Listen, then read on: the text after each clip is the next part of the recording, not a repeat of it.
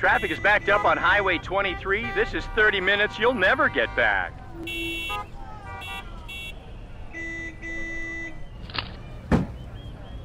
Hey!